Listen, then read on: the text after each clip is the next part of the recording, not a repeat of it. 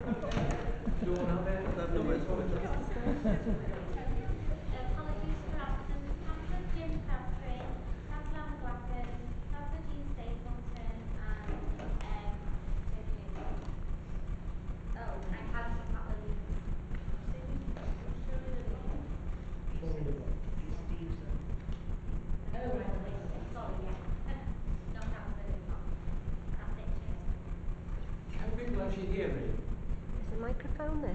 No, the other We know that a microphone, but it's gonna take a, it's gonna extend our meeting if we have to wait for somebody to get the microphone.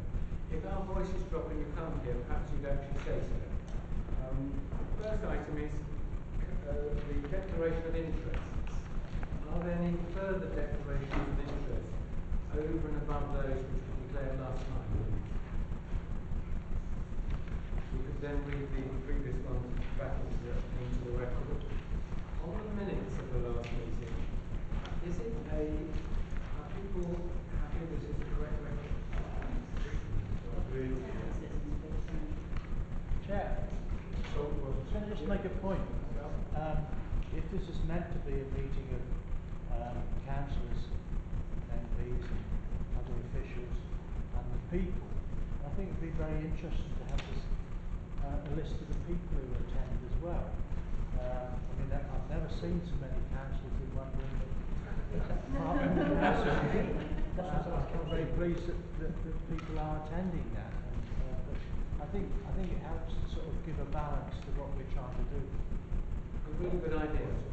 Happy with that? Yeah. Um, Does it mean that everybody has signs when they're coming in, so we've got a correct record? Are they all right, um, yes, yes. Could I just clarify, actually, have the minutes and the current agenda already been on the council's website? That's where I got. Yes. Yes, thank you. Um, we're actually going to try and, uh, if possible, but it's not within our ability to speed up the process of, of us having the minutes in an accurate form, because that's really crucial to follow through actions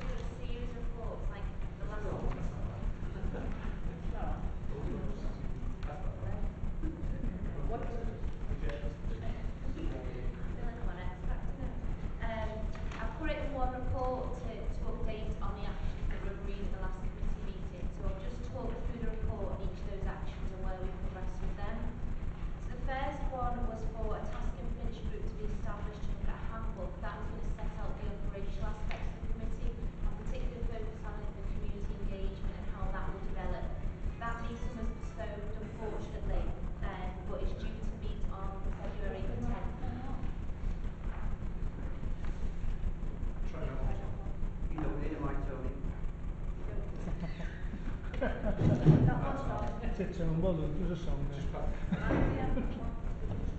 Daarop, zeker overvallen. Die No, no, no, no, no, no, no. nee, dat is heel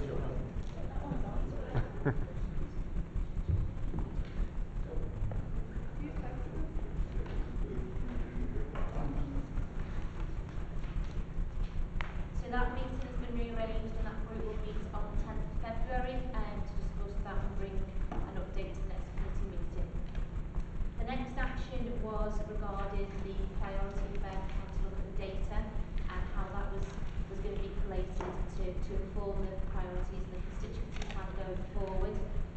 One of the main progressions with that is we had a meeting today with Liverpool University.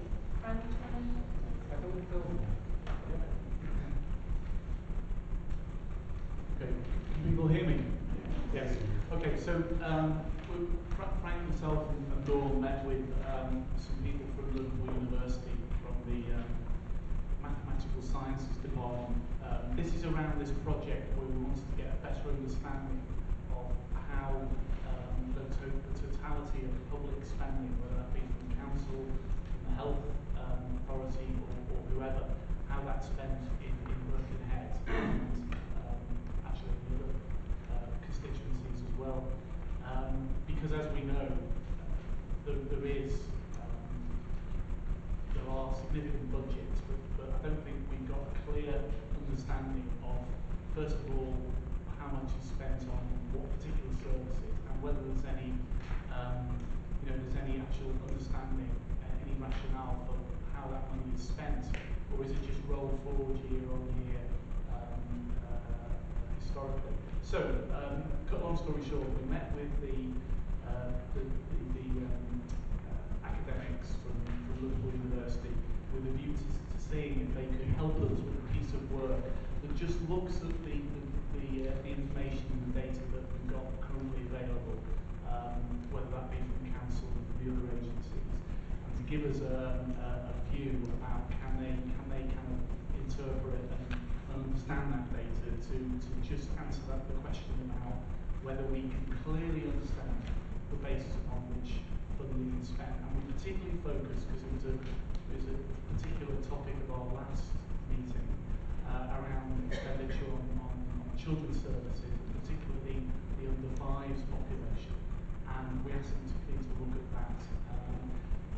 the, the, and then the second bit of the discussion, because again it was a big feature I think of the last constituency committee, to better understand the whole um, issue around needs and, and um, are there particular characteristics that children, young children display when they um, they move through the, the school system, which um, eventually contributes to becoming needs, so that we can do more kind of early intervention stop them falling into that category.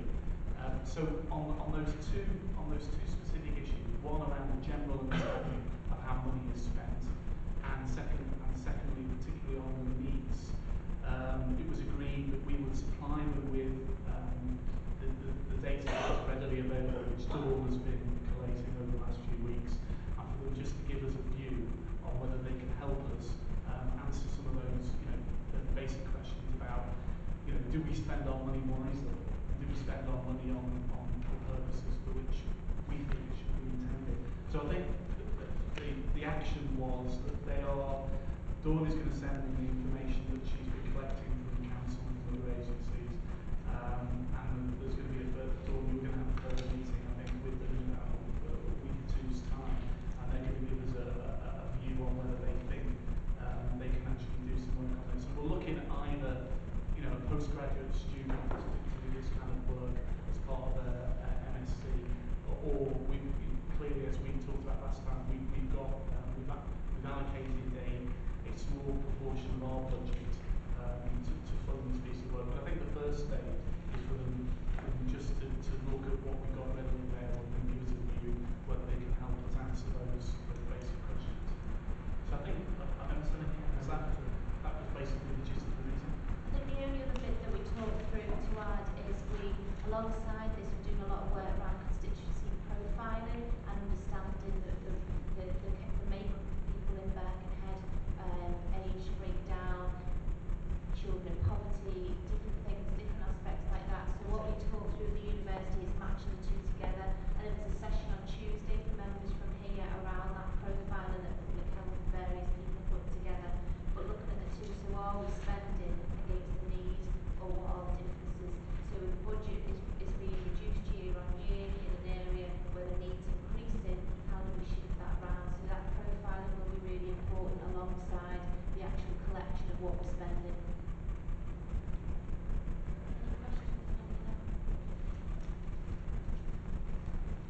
I understand the need for that work and collecting of data and what have you. But it shouldn't hold up progress for what we want to do at this, at this actually committee. That work can go on while we, we're looking more at what money's available through grants to spend you know, with, with our constituents on helping um, to, to, to affect them things that we've been talking about. What are, what are important to us, what's important to the constituents, It's, it's, it's the whole spectrum of looking at uh, community learning grants. I've shared some stuff with, um, with George regarding there's, there's different grants out there that we can access. We can involve the, the housing associations, we can involve the whole of the community on, on stuff like digital inclusion, on stuff like public health. And them grants are there so we can be more proactive in accessing them grants and moving forward. Uh, so that shouldn't, that work shouldn't hold up progress work because that can be going on in the background, can't it? I, I, I Tony, I, I agree with that. I don't think there was, there was an int- any intention that we should do nothing while waiting for this work. So, we- I think that probably moves on quite nicely to two point three, which is the next update, the action from the previous meeting, we had a lot of discussion based on the profile and the information that, that was presented on that evening, um, around what the priorities should be, um, in the first instance. And the action from that was the task and finish group was set up to discuss the follow on from the discussions at the meeting. Um, that group met on the seventeenth of January, and what's, what's in the report detailed here is, is a suggestion on how we should spend some money this year and how we should get some things moving. What I'm gonna do is we talk through it, and the group that were there, each member is gonna talk through each of the priorities, so we take them one by one, talk through them, take any questions, and what we're looking for at the end is for everybody to agree that those priorities are, are looked at and more formal proposals are put together to look at how we, how we would address those priorities. So the first one was around improving the environment, George. Thank you. Um, first, the first item that we did discuss uh, uh, as a group was around about the environment, and, and I think that it was mentioned um, at length at the last meeting that we did have that one of the things that when these austerity measures come in, the first thing that always happens is that people, for some unknown reason, dump things in entries, and in particular Birkenhead has got quite a lot of entries, and it starts to make the place look what I call totally unacceptable. We had a, um, um, Brian Kenny's here and Harry is here as well, but we did have a, uh, what we call like a task group that used to be out um, working in, in those neighbourhoods, um, clearing the entries on a monthly basis.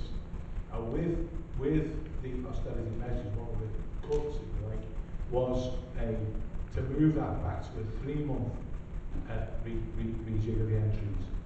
Um, we found money here which will, in, in total, coming from two pots, will give us £40,000.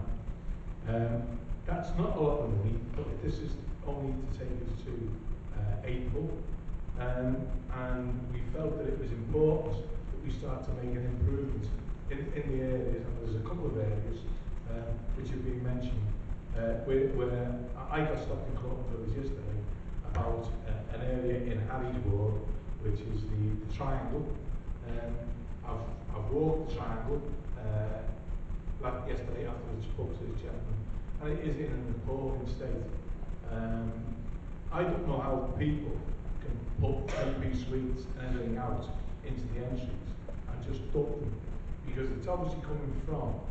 Um, I mean, this gentleman was complaining to me about um, why isn't someone picking these things up. So the first thing is why are people why are people putting things out there in the first place? But nevertheless, fully accepting what you're saying, that we were going to make a recommendation tonight to you people, um, that, that one of the things that we could do as an improvement straight away is to get a task and finish group that comes in. Uh, and I don't personally believe we should go to our um, dedicated person who is better. I think we should look for our own. We should have a truck with a driver, possibly a take on for young lads, apprentices, give them a job, uh, and, and they should have the opportunity to go around and get these entries cleared for us, uh, so that we can, I mean, th- that will still take place. The other rounds from Biffa will take place on a three monthly basis.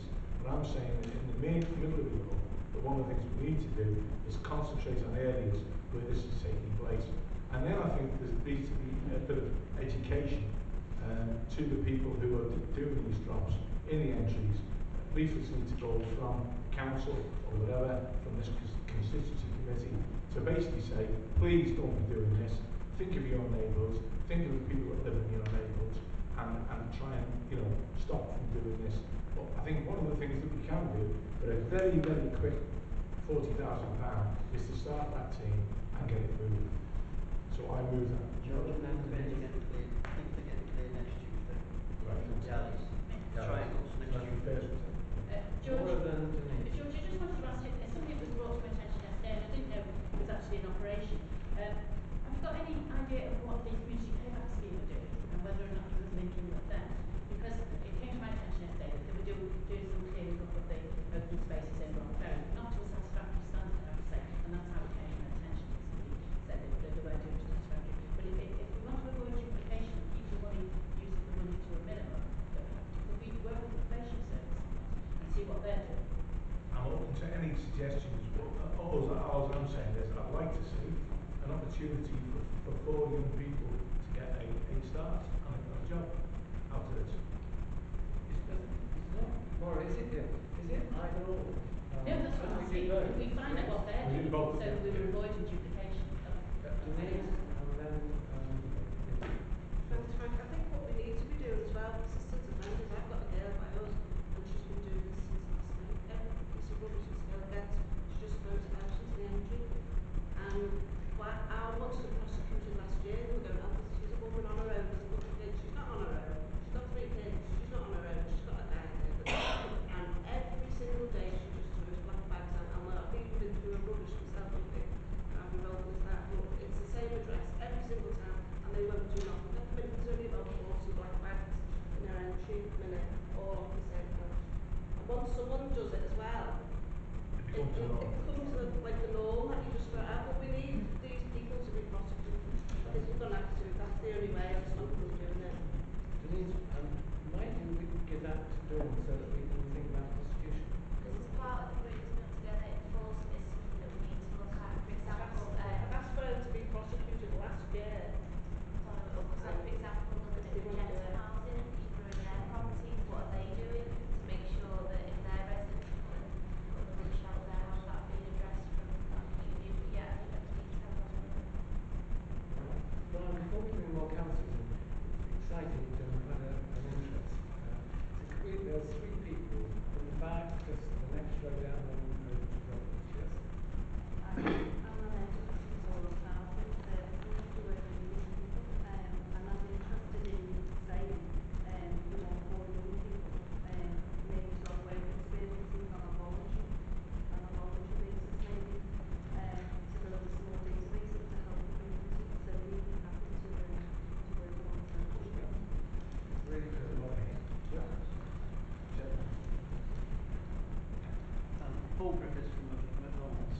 um, it's great that you're thinking of getting somebody to actually go in a van or whatever it is to pick up rubbish, but we've got to start with accountability, whether that's a resident, whether it's a business, or whatever, to look after their own properties, their own fronts, the, the alleyways. There's got to be accountability. So just going and picking up the rubbish is, is only a, a small part of it. Said about the education program. Well, it's, it's more than education, and I know the council, um, you have got a, group, the street scene that uh, is supposed to be proactive. So I don't know how many people have ever been prosecuted. I don't know how many businesses have been prosecuted, but my guess would be very, very few. So what is actually happening to that department? Because without doing one, all you do is creating a job that's gonna, it's never gonna improve. There needs to be greater accountability and people need to take that responsibility. Before we go on to Robert, um, Brian, do you know the answer to that question, how many have been prosecuted? Well, the answer is not many because, to be honest, one of the problems is we need evidence. Very often people come on and say there's a load of fair rubbish been dumped in, a, in an alleyway. And unless you've got evidence, unless you've got proof of who it is, or an admission of guilt, it's very unlikely you're going to get an admission of guilt. You can't prosecute. But there have been examples where we've taken cases to court and the court has thrown it out. Even where we've had situations where we've had black bin lines with people's names and envelopes inside, the courts won't take that as evidence. So you need basically concrete evidence. I was going to comment, here on, on Denise's point about you know, somebody who's been regularly doing this from last year, and I'm not aware of the details of that particular case you refers to. But if there is any evidence on that, I'm more than happy to take it up, because I honestly think that we do need prosecutions. I'd like to see a headline in the Wirral Globe naming somebody who's been prosecuted and found doing it, because it will hopefully act as a deterrent to other people. But to be honest, you need the evidence. You can't just say, well, it's outside somebody's house, so it must be them. That, that won't be accepted in the court. Westminster prosecutes on the basis of envelopes in rubbish. I give that uh, example, uh, but think, I don't seen it taken but I would like time. But, so can we move the minute, um, make sure in the minutes there's Denise, well, that, that we, we make some effort to find out who the culprits are for this. Through you, I ask, if Denise can give me, perhaps outside the meeting, the details of the person she's talking about, and I will personally take it up with the director, because I would like to see a prosecution in a case like this where we have got the evidence. So, if Denise can give me the details outside the meeting, I'm more than happy to take that up. Um, Alan? Just tried to do it, had his hand up for a long time. Sorry, He's had his hand up for a long time. Are you, is it actually on this? Yes. Yeah, great. One the uh, biggest disincentives um, with regard to bulky items is the charity charge, which is ten pounds. It used to be free, and then the charge was brought in. Um, I noticed when I was at, which is about a big increase in people. Again, below that level. Um, as one of the measures, perhaps using this forty thousand pounds, perhaps we could think about either waiving the fee or reducing it to one or two pounds, so that it's, it's not a disincentive for people to, to phone. But we'll have a look at that one. Yeah. On the, so we can actually remain on rubbish. Um, and what's yours on this issue or not? Mine on the, The issue about rubbish. uh, yes, it is, well, it's on, on the point that, really, the whole point that George was making, and, and I agree, I don't know exactly what you get for forty thousand pounds. Um, but I wouldn't, I would quite like, uh, two things I would like, if, if there is a vehicle, could we have on the vehicle that it's, uh, uh, sponsored by veterinary constituency, it's a to raise the profile, and also, um, not totally to limit it, I agree with you totally about, uh, back alleys, I seem to be myself the in a terrible state, but there are other examples of black spots, um, and it, would raise the profile of this, uh, constituency committee, if we tackle some of those sort of black spot areas, maybe some publicity. John. Just, just a brief point. I, I used to live in the uh, Triangles area myself for a few years, and I know that uh, it, it, it, the alleyways were cleaned every week, but it still went there. And one of the problems was there were a lot of uh, private landlords and tenants in the area, and when tenants moved out, they'd leave stuff behind. The landlord would just dump that in the alleyway, and that's why you got things like the three-piece suites you mentioned. So it, it, it's landlords you want to look at as well. I mean, I was in the middle, so I had to take my bin, dodge it round all these bits of dump rubbish